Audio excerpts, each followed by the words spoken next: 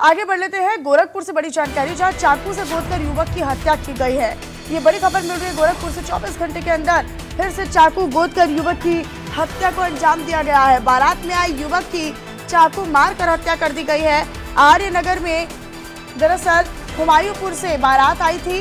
पुरुषोत्तम दास कोठी के सामने का ये पूरा मामला है, जहाँ पर युवक की चाकू से गोदकर हत्या कर दी गई है। पुरुषोत्तम दास कोठी के सामने की पूरी वारदात है।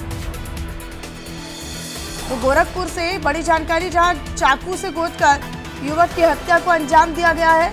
24 घंटे के अंदर, मात्र 24 घंटे के अंदर फिर से चाकू से गोदकर युवक की हत्या की गई है। बारात में आए युवक की चाकू मारकर हत्या की गई है। आर्यनगर से हमायूपुर की तरफ़ ये बारात आई थी और इसी दौरान ये पूरा घटनाक्रम घटित हुआ। पुरुषोत्तम दास कोठी के सामने का ये पूरा घटनाक्रम है। वाक्य है।